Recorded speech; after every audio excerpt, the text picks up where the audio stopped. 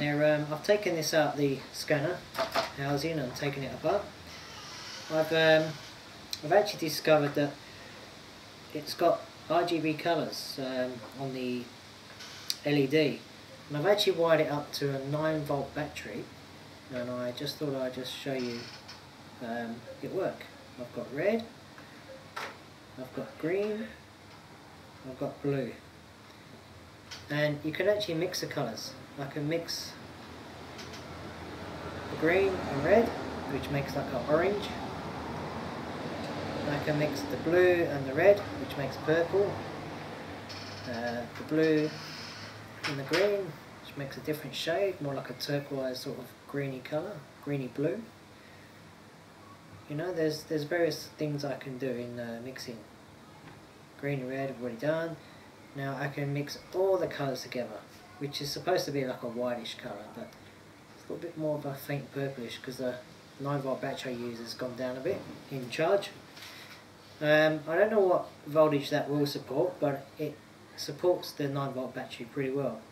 But when I started off to test it I used a couple of resistors to drop it down in uh, brightness just for testing. Now as to the wiring this one here I found that um, the live goes to one end of the four pins and now in order for me to find out that I used a 3 volt battery and I probed across the terminals with caution.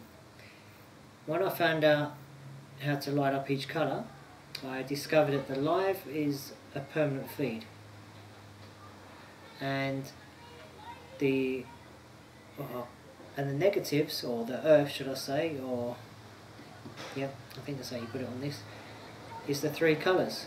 So then I've got the blue, the red, and the green. Okay, I went, I got a black wire for the blue because that's all I could find in my kit. So I just thought you might find this interesting. So there we go. Red and blue, simulate police car. Now I've seen these sort of things on cars, but they strobe backwards and forwards like Knight Rider. But if anyone wants to play around with lights, make like a disco kind of effect, this might be of interest.